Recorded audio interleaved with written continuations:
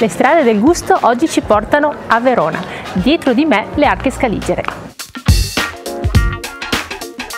Andiamo a scoprire il ristorante di oggi. Prima però vi voglio dare due indizi. Uno, si trova nella parte più bassa e antica di Verona. Due, il ristorante ci tiene a presentare piatti della tradizione ma con una chiave molto moderna. Ciao Nicole. Ciao piacere. Francesca. Ciao. Benvenuta all'Antica Amelia Bistrò. Entriamo nel tuo mondo. Andiamo.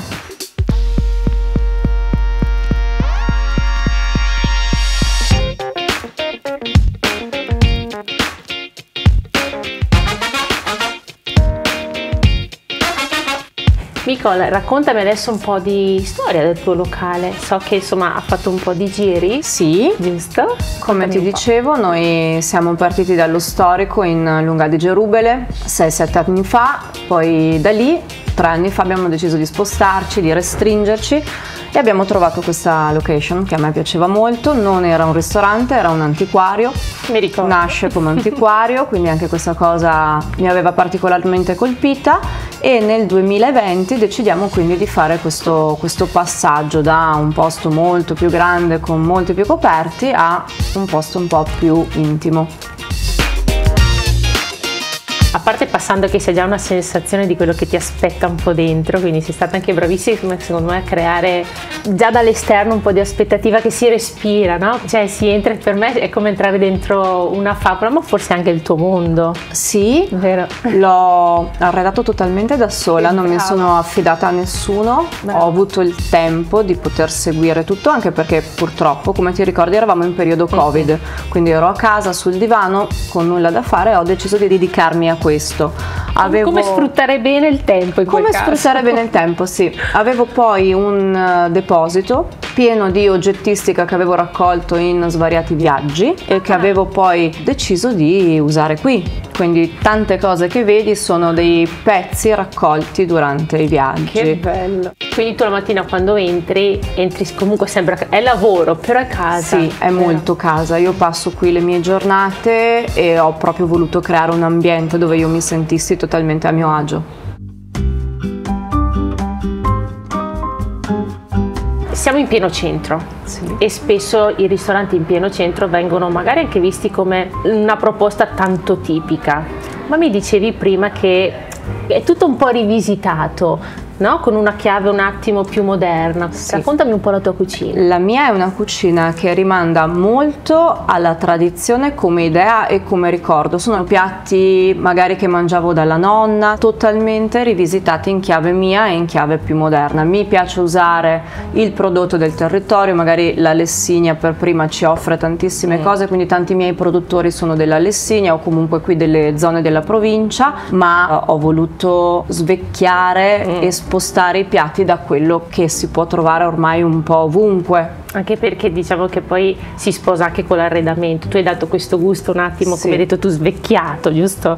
E questo lo riporti comunque anche nella sì. tua cucina. La mia idea era quella di far sentire il cliente sia a Verona, ma ovunque nel mondo. Ecco. Mi piace quando si siedono e mi dicono ma sai mi ricorda tantissimo un locale che ho visto a oppure questo piatto mi ricorda un piatto asiatico e magari è un piatto fatto con un prodotto nostro preso qui a 20 km mm. di distanza. Sì, perché poi questo gioco a me piace molto. Uno entra sei nel cuore di Verona, però è vero, quando entri sarà il giardinetto, sarà come è stato arredato, potresti essere ovunque in realtà. Sì. Ma è perfetto. Era eh? dove volevo arrivare. Hai centrato. Arriviamo al dunque che è la parte che io preferisco, ma farmi assaggiare qualcosina della tua cucina? Sì, vado subito a prepararti qualcosa. Allora io ti aspetto. Va bene.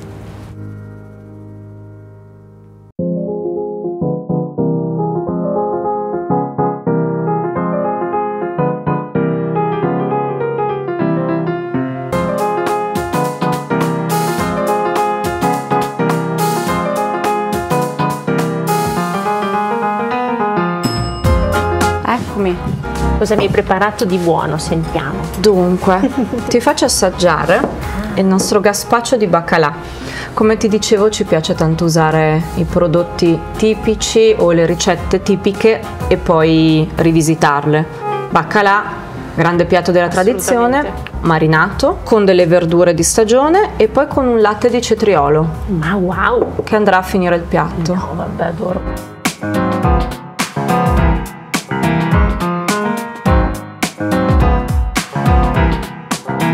Guarda, io per l'occasione ti ho portato una bottiglia della famiglia Scriani, è un metodo classico extra brut, è un vino che si presenta elegante e vellutato e ho pensato che con i tuoi piatti andasse bene. Sì. Nicole.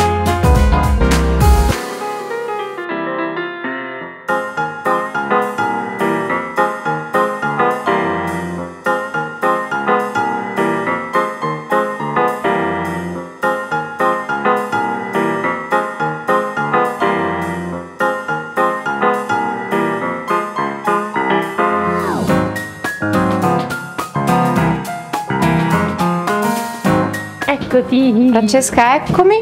Proseguiamo con eh, questo è il mio piatto del cuore. Adesso è una trota.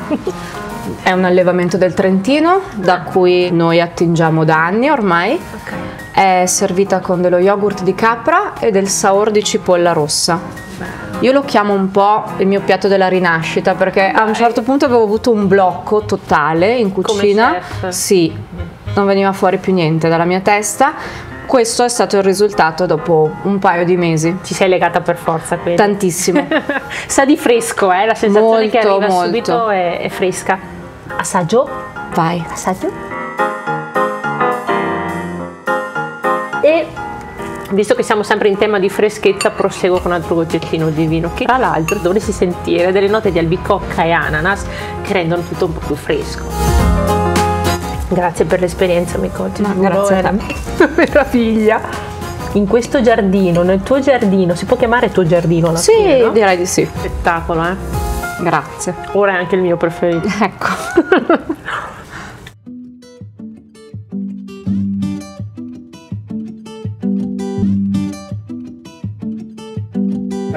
Grazie Nicole per questa esperienza di gusto, per restare un po' in tema con il nostro programma. Sono stata proprio bene a casa tua, qui Anticamella. Grazie a te Francesca, grazie. Grazie. di essere venuta a conoscermi. È stato molto bello, molto divertente. Grazie Nicola, a presto.